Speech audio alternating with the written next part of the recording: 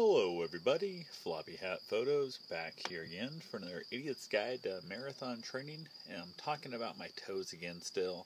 And it's been 151 hours since I came out of surgery, closing in on a, on a full week, whatever. So definitely don't know why I'm still doing the whole hour thing. It's just kind of probably I started with it, and I kind of think it's a weird little quirk to throw in there. So today was, um, in general, a phenomenally good day. Um, the toes were doing just better. They're still leaking a little bit here and there, still bleeding some here and there. Putting some gauze on. Racked them all up last night. I um, racked them up really, probably a little bit tighter than I should have. I didn't want to have them come off. It was my first night uh, without them being wrapped up by the doctor, so I was definitely um, very concerned about that fact. So I went ahead, um, got them all wrapped up, and had a good time with that stuff. So from there, um, like I said, the day felt amazing how good they were going. I mean, I still had a lot of pain. I still bump them here and there. I uh, let them breathe a good chunk of the day today. Um, put some socks on them with some gauze because the one keeps bleeding a little bit here and there on both feet. I got a couple of them bleeding on one foot and one on the other. So definitely not the greatest thing. Um, did go out and did some driving around today. Had a couple errands to go run. Had to go to the bank. Had to make some deposits. Had to move some money around. Whatever. Uh, also from there, uh, went out to the reservoir. Did gonna do a little walking out there on the res. There's a three and a half mile loop, a one and a half or one and a half mile loop, and then a um, 0.8 mile trail that I didn't plan on any of that stuff. It's where I take my dog out and go run all the time, and he's been pretty cooped up lately since I mean he hasn't been out really doing much. I've been trying to rough housing a little bit in the house here when I can. Like I bury my feet kind of thing, like underneath like the um, edge of the couch, and then basically kind of push him around and shove him, or I'll sit in the chair and hide my feet under the desk and shove him around to try and you know, let him know that it's gonna be all right. But took him out there. I walked around a little bit out there for a while. Went sit down on the bench. I let him off leash. He was out there, had a shot collar on him, no big deal. he was running around crazy. Nobody else around. Shot collar is pretty much only in case somebody else pulls up, especially had like small kids. He loves children or like even like other pets and stuff. He was going to go meet those, especially pets. I usually climb off people or of that, but if there's a dog there in the group, it's he's gonna meet that dog. Like I'm going to shock his ass to get him back over. He won't just come back by command. So I was out there, my feet were doing great, all that kind of stuff. Didn't think really much about it. Uh, he was running around doing his zoomies and um, stepped on my foot at one point, runs by, and zoomies are basically runs loops around me, and then I kind of like I'm gonna get him, I act like I'm gonna grab and stuff, and he stomped my foot at one point there, and that sucked.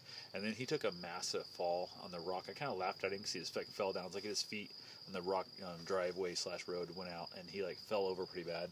And I laughed because he falls down quite a bit. Just apparently never on the rock before. And he came back. He made another couple loops, went and jumped in the res, came back, and he was playing around stuff. And I looked down. I was like, "What the hell?" And he had a big chunk taken out of the, out of from his leg, and it's a gnarly, nasty thing. I'd say bigger than a quarter, but smaller than a half dollar. And it's deep, like it's real deep, and it was bleeding pretty good I freaked out, called him over to me, and he didn't want me touching his foot. And then, of course, I went ahead, ran to the car. Actually, if I say ran, I hobbled my ass to the car, um, grabbed some towels, which I didn't have. I ended up having to go with napkins. So, kids in the neighborhood. Anyway, um, had to grab some napkins, kind of plotted other stuff, didn't have anything to wrap it around it to try and like even kind of hold on while I drove him home, and it freaked me out because I am, literally, I could have taken gauze off my own feet, but I didn't have anything to tie him onto his foot with. Didn't even have shoelaces. One of those stupid like doctor shoes I gave Velcro on them, so I couldn't even do anything with those. It really kind of, really kind of set me, and I made some changes there. But got home, um, got him all wrapped up, got him bandaged up. He was acting all weird. He was in pain. I understand. I'm in pain. He's in pain. It's not going well. Um, got him gauzed up, got him wrapped up, and he didn't like it on his on his ankle and his wrist. There, he was kind of having a hard time with it. So he went ahead, and I was sitting on the couch trying to get him to come up on the couch with me. Stuff. He's got his own couch in the house. It's just his, and I was trying to get up there so he could lay down a little bit, kind of rest and not stop trying to chew on it. And the process was just kind of antsy. He was kind of nervous stuff. He stomped around my right foot and I don't mean stepped on, I mean stomped. We're talking a hundred plus pound dog, and just mauled his foot into it. I felt it twist. He stomped on it, I screamed like a little girl. It hurt so bad, and then of course that foot started bleeding like a demon. I mean, it was just pus, and I had to go wrap it up more. I put like tons more gauze on it, put more pressure on it, trying to get it stopped, and it's stopped now. Mostly, it's still leaking out some, but that just it was it was so intense. Like it just totally like a kick in the balls, what it felt like. So that was my only downside day for the feet. My feet have kind of they're still the right foot's much more tender than the left foot is.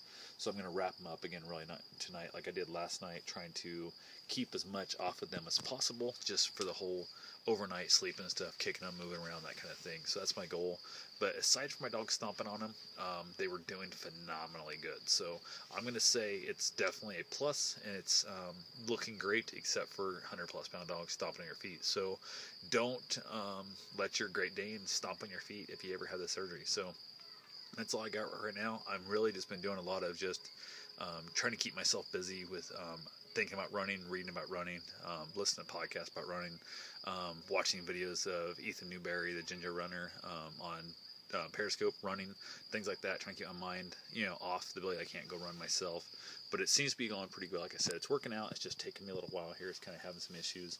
It's I'm also I'm just going the fact that it's going to be so much better for me. And then I've also had the concept of people out there, you know, actually I should say people, one person out there in particular chose to basically tell me I was being a little baby and I was, you know, being a dick and I need to stop posting my 24 7 about my feet and how bad I hurt because I chose to do this to myself. So I need to just suck it up and stop talking about it all the time. So I thought it was kind of funny. But other than that, that's pretty much how the day went. So I'm going to go ahead and get off here and wrap my feet up and call it a night. So you guys have yourself a safe, wonderful run. Um, lace your shoes up, hit the door, and get your run on. And if you try to have the surgery, I guess that's just I'm just trying to give you guys a little update of if you were to ever have the surgery, what my experiences are, so you'd make an educated guess on what your experiences might be. So, anyway, best of luck to you.